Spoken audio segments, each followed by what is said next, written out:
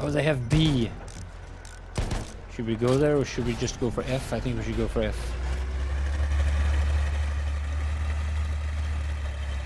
Ziel erobern. Los doch. Oh, come on! Oh, come on, what's wrong with this tank? Look over, you can do it!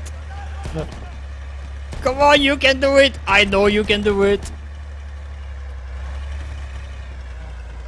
Go out and This push, is guys. a Renault. It's not a Volvo, Marty. Okay. Alright. Actually, I don't, don't want to go to F anyway. I, I hate that flag. Let's go to B. Erobert das Ziel. Are you serious? Remind me to never drive down on the tracks with this tank again.